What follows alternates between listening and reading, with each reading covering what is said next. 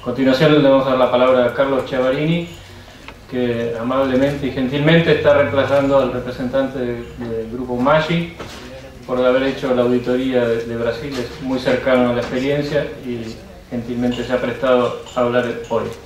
Buenas tardes, bueno, eh, primero habló un auditado, ahora vamos a hablar los auditores. Nosotros hicimos hace aproximadamente un mes la auditoría, una auditoría multisitio para producción de soja responsable, basado en el último estándar de la RTRS, eh, mejor dicho, en dos estándares, la Interpretación Nacional de Brasil y el estándar multisitio de la firma agropecuario más ilimitada sobre dos establecimientos ubicados en Mato Grosso.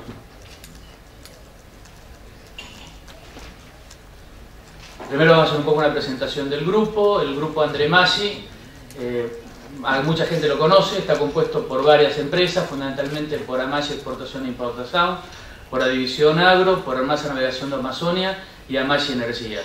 A la Exportación e Importación se dedica a la exportación, de, a la producción de harinas y aceites y a la exportación de granos y subproductos. La, empresa, la empresa División Agro, fundamentalmente agropecuaria Amagi, se dedica a la producción de granos eh, para su uso interno y para su industrialización. Hermasa Navegación de Amazonia es una compañía de logística que opera un par de terminales eh, sobre el río Madeira y el río Amazonas, en Portobello específicamente y Tacoteara, y suministra transporte por barcazas a través de esa vía fluvial. Y Amasia Energía es la generación de energía eléctrica con dos unidades de generación. Las actividades del grupo, como dijimos, bueno, originación de granos, procesamiento, comercialización, producción agrícola de semillas, fertilizante, logística fluvial y generación de energía eléctrica. Eh, agropecuaria más ilimitada eh, administra 12 establecimientos rurales ubicados todos en el estado de Mato Grosso. Las actividades principales son la producción de soja, maíz y algodón. Realiza algunas otras actividades eh, como tiene una pequeña explotación de árbol del caucho solicitó una auditoría de certificación de estándar para la producción de soja responsable como multisitio y como dijimos bajo la interpretación nacional de Brasil. Tanto Brasil como Argentina hoy tienen interpretaciones nacionales que a su vez han establecido una gradualidad en el cumplimiento de los indicadores. Es decir, que vamos a tener para el caso de Brasil 58 indicadores que eran de cumplimiento eh, obligatorio, mandatario, 27 indicadores que fueron de cumplimiento de acá un año y 3 indicadores que podían tener hasta 3 años para cumplir. Eh, la verdad es que nos ayudó mucho la organización de Amasi. Amasi una, el grupo André Masi es una organización muy focalizada en la calidad, con mucha experiencia en normas y certificaciones, tiene sus industrias certificadas bajo la norma GMP+, B2, tiene ISO 9000, tiene ISO 14000, y hasta la política y la visión de Agropecuaria Maxi nos da una idea, porque hablan de el respeto del medio ambiente, la seguridad del trabajo, la valoración de las personas. Y eso lo tienen ya como política implantada hace bastantes años dentro de la organización. ¿Qué somos Control Union? Bueno, Control Union somos una empresa fundada en Holanda por la familia Peterson en Rotterdam en el año 1920 Ofrecemos servicios de logística, collateral management, inspecciones, auditorías, certificaciones, verificaciones, control y análisis de mercadería, tanto lo que es calidad o, cantidad. Somos un grupo descentralizado, pero a su vez estamos integrados, somos más de 2.500 profesionales, estamos presentes en más de 70 países y nuestra base de clientes son aproximadamente 20.000, entre los que están los principales actores de la industria. Agropecuaria Masi una forma de presentarla tiene, para la campaña 2008-2009, ellos sembraron 139.000 hectáreas de soja, unas 56.000 hectáreas de maíz y unas 10.000 hectáreas de algodón. Hoy están incrementando el área de algodón, están instalando una planta algodonera en la facenda Tucunaré, que es casualmente una de las facendas que fue auditada. Su producción para el año 2008-2009 estaba en las 460.000 toneladas de soja, 321.000 toneladas de maíz y algodón estaban en 17.000 toneladas expresadas como eh, algodón pluma. Eh, ¿Cómo fue el procedimiento de auditoría? Básicamente ellos pidieron la auditoría al ser multisitio, como ustedes saben, tienen que designar un gerente responsable, que es la persona que va a coordinar la operación. Dos de las facendas, de las 12 facendas que ellos están trabajando, Estas facendas son las facendas Tucunaré y la facenda Tanguro. Y el gerente del de multisitio, que hubiera estado, sido un honor que lo hubiera estado presente, el ingeniero Joao Shimada, un conocido por toda la RTRS. Como dijimos, ellos están certificados ISO 14000, cumplen normas GMP más de 2 para lo que es la producción de alimentos. Eh, me olvidé citar que entre las inversiones del grupo ellos tienen también parte de terminal Granate Guarujá en el puerto de Guarujá para la carga de granos, subproductos y aceites. Están certificados Proterra y es uno de los originadores de la moratoria de soja para el estado de Mato Grosso. El líder de la organización MASI es eh, el señor Blairo Masi, ex gobernador por dos periodos del estado de Mato Grosso y actual senador por el mismo estado.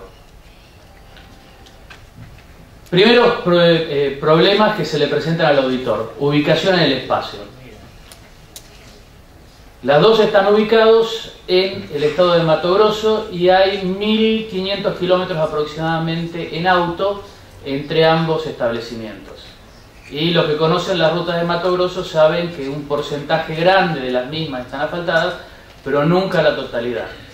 Implicó a los auditores que tuvimos que hacer esos casi 4.500 kilómetros en una camioneta S10 y por mi tamaño me tocó ir en el banco de atrás, por lo cual mi espalda desapareció. El último día tuve que ir a un quiropráctico, más o menos. Características, los biomas en Brasil. Es un estudio que tienen que hacer todos los auditores previamente al trabajo.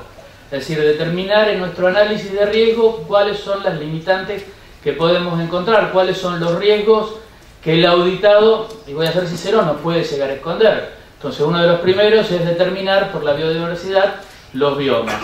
Y como vemos, hay una amplia participación del, eh, del eh, cerrado en estos establecimientos, si bien están ubicados en lo que se conoce como arco de poblamiento o arco de desmatamiento, también les llaman otros autores, porque son las zonas de mayor injerencia humana al ser una zona de integración de dos biomas diferentes como es Amazonia y como es eh, el Cerrado.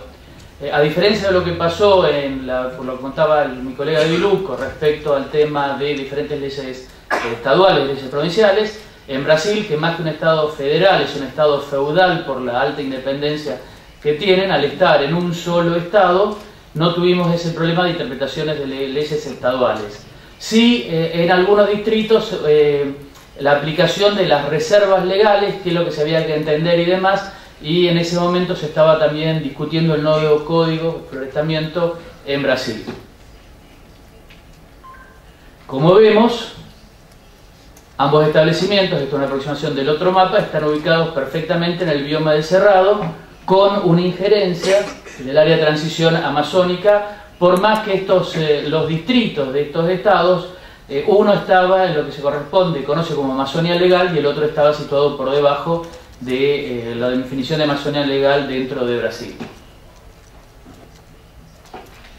¿Qué características tiene el cerrado? Además de ser el segundo bioma de Brasil, es uno, presenta dos estaciones bien diferenciadas, invierno seco y verano lluviosos, tiene suelos eh, de tipo sabana, sabana, es decir, que son deficientes en nutrientes, son ricos en hierro y aluminio, estos hacen que sean ácidos, eh, con baja capacidad de intercambio catiónico. ¿Por qué la importancia agronómica de estos estudios? Bueno, para saber cuáles son las prácticas agronómicas adecuadas, es decir, el uso de correctores, si se puede implementar una labranza 0 al 100%, o tienen que cada una X cantidad de años realizar una destrucción o para, de la capa superficial para una incorporación de estos fertilizantes y correctores y demás. Además, las condiciones climáticas hacen que el control de plagas sea un key hay eh, ciclos muy cortos, muy rápidos por la presencia de insectos, el uso de materiales genéticos específicos, la presencia de nematodo, que es una, se está transformando una plaga endémica en los suelos del cerrado, casualmente por su alto contenido de, hierro y su, pH muy ácido. Bueno, todo eso implica que hay que conocer técnicamente lo que se va a evaluar para poder determinar si las buenas prácticas que están sugiriendo, que nos están planteando, son las adecuadas.